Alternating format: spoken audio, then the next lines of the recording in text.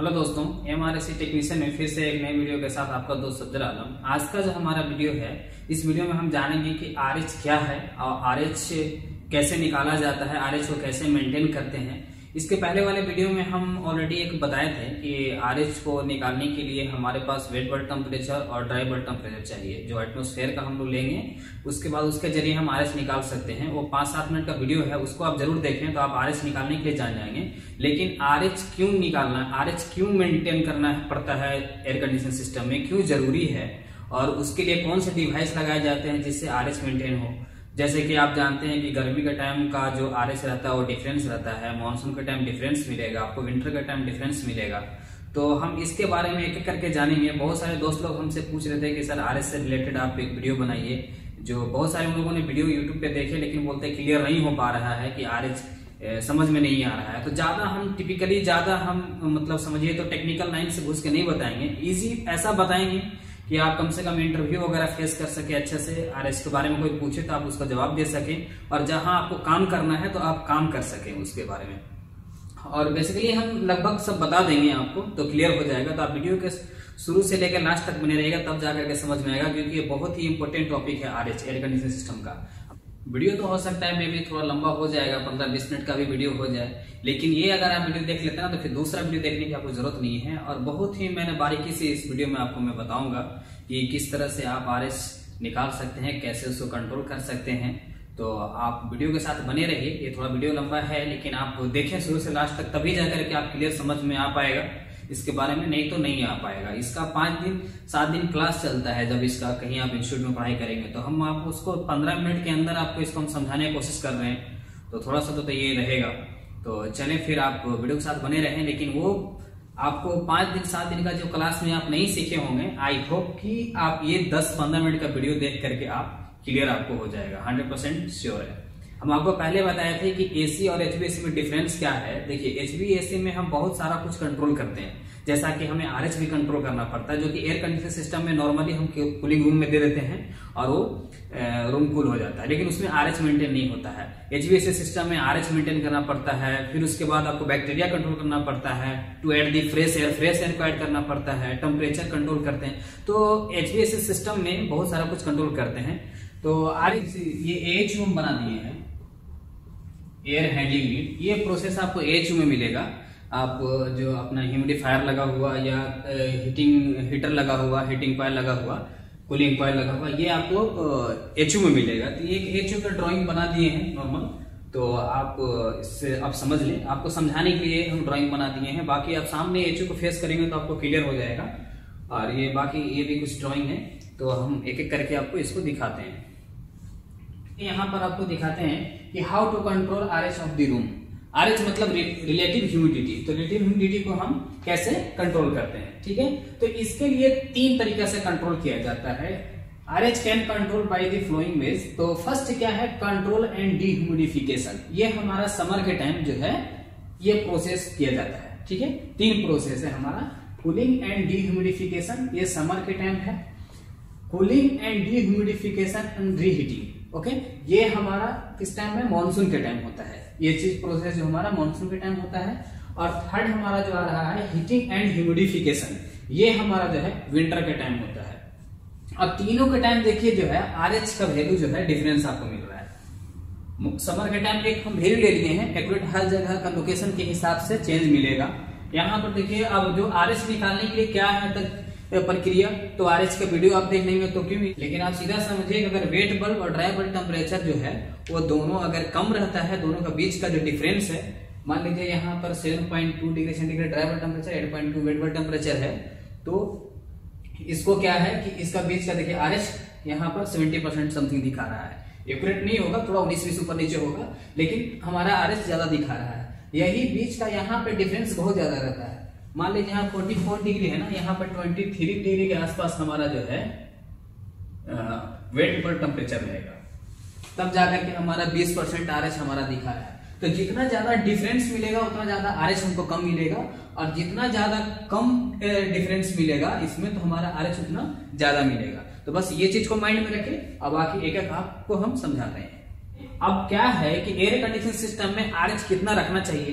कितना आरएच रहेगा तो आदमी कंफर्ट फील करेगा। तो आरएच कंफर्ट फील कराने के लिए जो है ह्यूमन को हमें 50 टू 60 परसेंट आर की ज़रूरत पड़ती है। अगर 50 से 60 परसेंट अगर आरएच है तो हम कंफर्ट फील करेंगे, उसमें अच्छा फील करेंगे। जैसे कि हम टेम्परेचर को 22 टू 25 के बीच में रखते हैं, उसी तरह से हम आरएच को 50 टू 60 के बीच में रखते हैं परसेंट आरएच अच्छा ये कितना तक जाता है? कितना तक ये होता है? सीधा हम आरएच को जानते हैं। आरएच क्या है? आरएच जो है ना एटमोस्फेयर एम्बियन टेम्परेचर जो है, अपना बाहर का सराउंडिंग टेम्परेचर एम्बियन टेम्परेचर में जितना वाटर वेपर की क्वांटिटी जो रहता है वाटर वेपर की जितना क्वांटिटी है, उसको हम आरएच बोलते हैं। ठीक है? अब वाटर वाटर वेपर की कैपेसिटी कितना उसको लेने का है एम्बियन टेम्परेचर में? वो हंड्रेड परसेंट तक जो है हंड्रेड परसेंट तक आर जाएगा, तब जा करके वो हमारा क्या है, बारिश होना स्टार्ट हो जाता है। तो मतलब हवा में जो है वाटर को जो है ऑब्ज़र्व करने की कैपेसिटी है मॉइस्चर को, वो हंड्रेड परसेंट तक है। ठीक है? तो अभी नॉर्मली जो है इंसान कंफर्ट फील करता है उसको हंड्रेड परसेंट मिल जाएगा तो बारिश होगा तो बारिश तो कंफर्ट नहीं है ना। अब अगर ज़्यादा डाउन रहेगा तो भी मुश्किल है। तो जब ज़्यादा डाउन रहता है तो क्या प्रॉब्लम आता है? ज़्यादा होने के बाद क्या प्रॉब्लम होता है? तो वो हम आपको एक एक करके बताएँगे।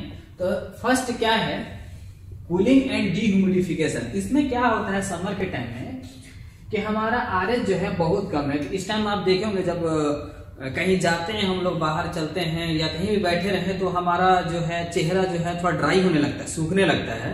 और तो वो क्यों ऐसा होता है? क्यों होता है कि अभी अभी मान लीजिए हमको ये हवा में जो है आरएच कितना परसेंट तक आ सकता है, कितना परसेंट तो ऑब्ज़र्व कर सकता है? हंड्रेड परसेंट तो ट्वेंटी परसेंट बहुत कम है। तो ट्वेंटी परसेंट कम है तो वो हवा जो है मॉइस्चर की ऑब्ज़र्व करेगा कहीं ना कहीं से, किसी भी चीज़ से, पानी से ले, चाहे जो तो हमारा बॉडी जो है उसको एक अच्छा स्रोत मिल जाता है। तो बॉडी के ज़रिए जो हमारा हवा टच करता है फेस पे, या जहाँ पे भी टच करता है तो वो वहाँ से जो है मॉइस्चर को एब्जॉर्व करता है, खींचता है। तो हमारा जो पानी अगर बॉडी से निकालेगा तो क्या होगा? वो हमारा वहाँ पे ड्राई होना स्टार्ट हो जाता है। तो उस टाइम हमारा ऐसा होता है। तो लेकिन हम एयर कंडीशनिंग सिस्टम में समर हो विंटर हो, या हमारा मानसून हो, किसी भी टाइम हमको एक ही आर देना पड़ता है, एक ही टेम्परेचर देना पड़ता है। ठीक है? तो अब हर टाइम का डिफरेंस डिफरेंस रहता है वैल्यू आर एस तो हमको एक ही मेंटेन करना पड़ता है। तो अब इसके लिए हम लोग क्या करते हैं? 20 परसेंट है तो अब इसको हमको 50 टू 60 परसेंट लाना है। तो फ़र्स्ट ऑप्शन हमारा ये अप्लाई होता है, पूरी घंटी इसमें क्या होता है? यहाँ पर देखिए, एक एचओ का हम फिगर बनाए हैं। आपको नज़दीक से हम दिखाते हैं। देखिए, ये हमारा एक एचयू है। इसमें क्या है कि यहाँ पर देखिए कूलिंग कॉइल लगा दिए हैं। यहाँ पे कूलिंग कॉइल है। इधर में अपना जो है ये फ़िल्टर एरिया का सेक्शन है, जो भी बैक फ़िल्टर प्री फ़िल्टर रहता है, इधर में है। ये इधर से रिटर्न एयर आ रहा है डक्ट के ज़रिए। ये हमारा जो है ना टू डक्ट डक्ट के ज़रिए हमारा रिटर्न एयर आ रहा है और इस तरह से ये होते हुए आगे रूम में जा रहा है ये सप्लाई है तो हमारा मान लीजिए, गर्मी के टाइम में टेम्परेचर कितना मिल रहा है? 44 जैसा कि हम यहाँ पर वैल्यू दिखाए हैं 44 डिग्री तो हमारा 44 डिग्री मान लीजिए मान लीजिए मिला। बाद में ये डाउन हो जाता है कि एयर कंडीशनिंग रूम में एक ही एयर को सर्कुलेट कराया जाता है तो ये डाउन हो जाता है। लेकिन अभी हम बता रहे हैं कि 44 डिग्री सेंटीग्रेड में आएगा तो हम क्वाइल का जो है कूलिंग क्वाइल का डिज़ाइन इस तरह से करते हैं कि एयर पूरा सेचुरेटेड हो जाए। मतलब अपना वो हंड्रेड परसेंट आर का कंडीशन में आ जाए, जिसके लिए हमको यहाँ ड्रेन लगाते हैं। तो हम एयर रिटर्न एयर को जब हम कूलिंग क्वाइल से टच कराते हैं तो ये जो है इसके अंदर टच होने के बाद, अब इन मान लीजिए सात डिग्री सिक्स डिग्री इन कर रहा है और फोर्टी फोर डिग्री के आसपास हमारा टेम्परेचर ये टच अब हमारा जो एयर है, वो हंड्रेड परसेंट सेचुरेशन होने का पोजीशन में जाएगा। तो उस पोजीशन में क्या होता है कि यहाँ पर जो है कूलिंग पायर से टकराते हुए यहाँ पे जो है डीह्यूमिडिफिकेशन होने लगता है। मतलब थोड़ा पानी जो है कंडेंस होने लगता है, जो ड्रेन लाइन के ज़रिए निकलता है। आप देखे होंगे कि यहाँ पर ड्रेन लाइन दिया रहता है एच में, जिसके ज़रिए पानी निकलता है। अब उसके बाद जो है एच जो बाहर निकलता है तो हंड्रेड परसेंट तो नहीं, लेकिन एट्टी परसेंट के आसपास जो है वो आर में तब्दील हो जाता है एट्टी परसेंट अब यहाँ बारह, तेरह डिग्री सेंटीग्रेड जो है, जो भी एयर निकला ठीक है, बारह डिग्री। अब इस डक्ट के ज़रिए इधर आया, फिर आने के बाद रूम में पूरा एरिया बड़ा है एक्सपेंड हुआ। तो वहाँ पे टेम्परेचर मान लीजिए ग्रिल के पास टेम्परेचर मान लीजिए 15 डिग्री सेंटीग्रेड आपको मिल रहा है। फिर रूम में फैला। तो उस हिसाब से 80 परसेंट जो आरएच है तो वो जैसे ही उसको क्या कहते हैं हीटिंग एरिया मिलेगा, थोड़ा हीट मिलेगा तो वो उसका भी टेम्परेचर उसका भी जो परसेंटेज है, वो थोड़ा सा डाउन होएगा। अब उसमें जब हीट मिलेगा तो जो मॉइस्चर ज़्यादा था तो वो तो थोड़ा हीट होने के बाद वो फैलेगा ना। अपना 80 परसेंट मान लीजिए यहाँ पे जो हम पूरा कराने के बाद जो है 100 परसेंट का सेचुरेटेड होने के बाद 80 परसेंट हमारा आरएच निकला। 80 परसेंट निकलते हुए जैसे जैसे उसको हिट मिलेगा, मान लीजिए स्पेस में तो उस हिसाब से फिर आरएच बढ़ता है। तो हमको 50 टू 60 परसेंट वो सेटिंग किया रहता है तो आपको सिर्फ़ मैं प्रोसेस बता रहा हूँ, आप जितना सेटिंग कर देंगे सिस्टम में, उस हिसाब से उतना वो मेंटेन होता है। ज़रूरत के हिसाब से कितना टेम्परेचर मेंटेन करना उसको, उस हिसाब से वो मेंटेन होता है। फिर हमारा 50 टू 60 परसेंट आर मिल जाता है। ठीक है? तो ये हमारा हो गया first option cooling and D का ये प्रोसेस हो गया। तो अभी हमारा सेकेंड ऑप्शन है cooling and D and reheating ठीक है? अभी ये मानसून का टाइम का टेम्परेचर है तो मानसून का टाइम क्या होता है कि हमारा एम्बियंट जो है एयर में सराउंडिंग एरिया टेम्परेचर जो भी है, उसमें हमको 60 परसेंट ऑलरेडी आर मिलता है। लेकिन क्या है कि हमको कूलिंग और डाउन करना है, ठीक है? तो हमारा 35 डिग्री मान लीजिए सेंटीग्रेड कूलिंग कॉइल से हमारा टच कराया। तो टच कराने के बाद वो तो डाउन हो गया टेम्परेचर डाउन हो गया, लेकिन हमारा आर ऑलरेडी रूम में हमारा 60 परसेंट है, क्योंकि बाहर का हमारा टेम्परेचर 60 परसेंट है, अपने एम्बियंट टेम्परेचर तो जैसे ही आप क्या कहते हैं कूलिंग कार से ये कराएँगे एयर को ठंडा करके तो वो भी और अपना सेचुरेटेड होने का पोजिशन में जाएगा। जो एयर है हमारा और भी वो डाउन होएगा 80 परसेंट आरएच में होएगा। हमारा समर के टाइम में क्या था कि हमारा जो है आरएच बहुत कम था। तो उस टाइम हम अगर सिस्टम को यहाँ पे अगर 80 परसेंट आर करके देते हैं, यहाँ से डट के ज़रिए तो वहाँ रूम में जाते जाते 50 टू 60 परसेंट मेंटेन हो जा रहा था। लेकिन यहाँ पर हमारा ऑलरेडी 60 परसेंट अवेलेबल है उस रूम में। अब हमारा यहाँ पर क्या होगा कि आर बहुत ज़्यादा हो जाएगा। तो आर ज़्यादा होने से भी प्रॉब्लम है। आर हमको ज़्यादा रखना भी नहीं है।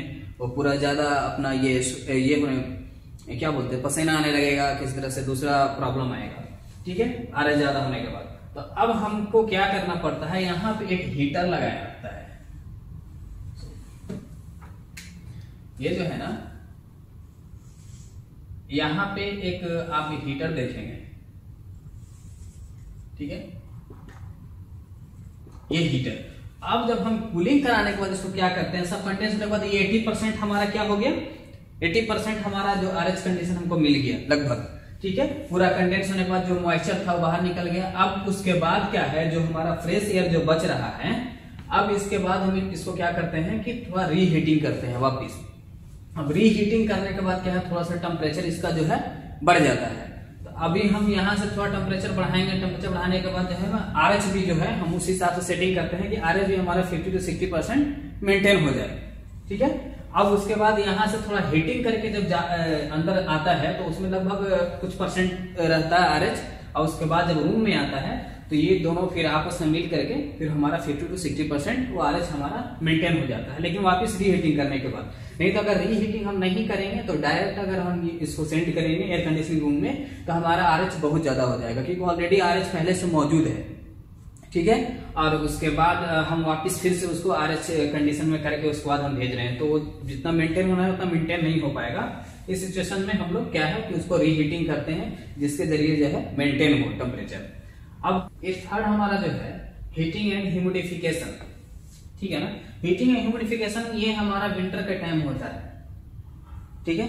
ऑलरेडी हमारा जो टेम्परेचर है, वो बाहर का बहुत कम मिलता है। जैसे seven degree seven point two degree centigrade के समथिंग हम बताए, आप एक वैल्यू ले लिए हैं, कम ज़्यादा तो होते रहता है एटमोस्फेयर का टेम्परेचर समझ गया ना एम्बियंट का। तो हमारा ये 7.2 डिग्री सेंटीग्रेड इतना भी ठंडा अगर देंगे तो कहाँ से कंफर्ट फील करेगा? ह्यूमन कंफर्ट फील नहीं करेगा। हमको किसी भी टाइम हो, हम जब air condition system HVAC system लगाए हैं तो उसको हमको perfect R H and temperature वो हमको बराबर देना होगा। तो 7.2 डिग्री सेंटीग्रेड इस टाइम हमारा क्या काम होता है? देखिए, एक और हम बनाए हैं। एक अलग अलग पार्ट्स का सिस्टम बना दिए जो तो फ्रेश एयर होता है। एक एचयू का वीडियो ऑलरेडी है। अपलोड किया हुआ। ये हमारा कूलिंग पाइल हो गया। ये हमारा हीटर या हीटिंग पाइल को यूज़ करते हैं। ठीक है? जब हमको हीटिंग का उपयोग करना पड़ता है। जैसे यहाँ पर हम एक उदाहरण दिए हीटर का। उसी तरह से यहाँ पर हीटर या इसको हीट कॉइल जो है हॉट वाटर को भी सर्कुलेट हम करा सकते हैं। ठीक है? अब देखिए यहाँ पर ह्यूमिडिफायर का काम है। विंटर के टाइम में हमारा ह्यूमिडिफायर का काम है। जो कि विंटर के टाइम ऑलरेडी डाउन है। लेकिन क्यों ज़रूरत है? हम आप इसको बताते हैं। ठीक है? अभी विंटर के टाइम आप क्या करेंगे कि हीटिंग करेंगे एयर को जब आप हीट करेंगे तो उसके बाद क्या होगा कि इसका टेम्परेचर तो हाई हो जाएगा। इसका टेम्परेचर हाई हो जाएगा।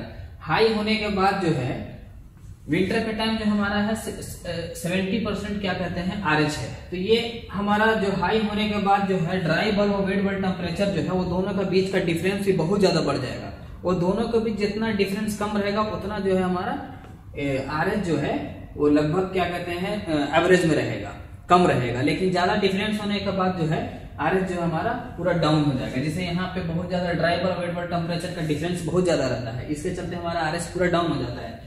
इसी तरह से अभी तो मान लीजिए सत्तर परसेंट है, क्योंकि अपना ये ड्राई बल्ब टेम्परेचर मान लीजिए ये है, और वेट बल्ब टेम्परेचर ये है, और मान लीजिए एट पॉइंट टू समथिंग ये रहेगा। वेट बल्ब टेम्परेचर तो ये दोनों नज़दीक दोनों मिल रहा है तो ये सेवेंटी परसेंट आर में है। लेकिन क्या है कि जब आप हीट करेंगे, ये ड्राई बल्ब टेम्परेचर को जब आप हीट करेंगे तो ये तो पूरा हीट हो जाएगा।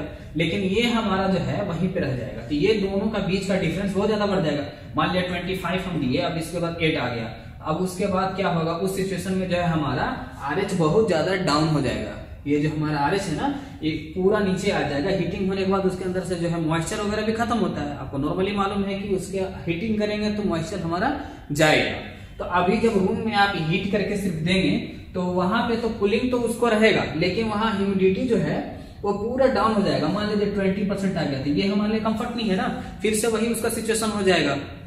गर्मी का जो प्रॉब्लम होता है बाहर में, वही प्रॉब्लम हमारा फिर यहाँ पे शो होने लगेगा शो होने लगेगा। तो इसके लिए हमको क्या करते हैं कि पूरा हीटिंग करने के बाद जो है, उसके बाद हम यहाँ पर ह्यूमिडिफायर इसके लिए एक स्टीम भी रहता है, अपना वाटर वगैरह का, उसके ज़रिए भी, भाप के ज़रिए हम लोग स्टीम से ये करते हैं।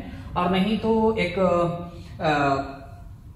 कूलिंग कॉइल जो रहता है, उसको ह्यूमिडिफायर लगा रहता है और पानी का स्प्रे कराया जाता है। उसको कुछ पिक्चर हम क्या कहते हैं, बीच में वीडियो में हम दिखाएँगे डायरेक्ट खींचा हुआ पिक्चर जो है, वो आपको दिखाएँगे कैसा रहता है। तो ये हमारा जो है हीटर का भी दिखाएँगे हीटर का भी जो रहता है हीटर का भी दिखाएँगे, इसका भी दिखाएँगे।